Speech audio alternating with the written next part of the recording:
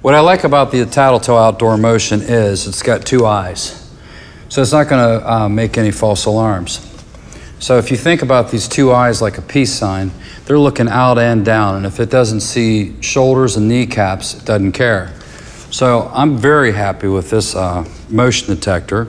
We also put them inside Connex boxes. So imagine going into a job site, you open up a Connex box, put this on the inside.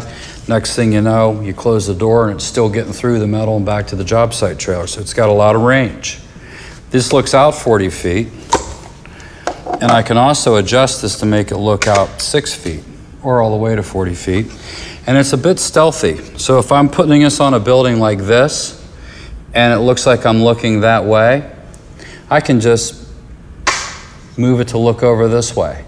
And when I put the cap back on the front of it, you don't know which way it's looking. So these with magnets are my favorite. And if you go call on any substations, you plug this in at a substation and move those around and put them anywhere you want. We just recently protected like 18 acres. So imagine five, six of these things, stick them up, plug in a box, hit on on the keychain remote, and the whole outdoors is on wireless lockdown.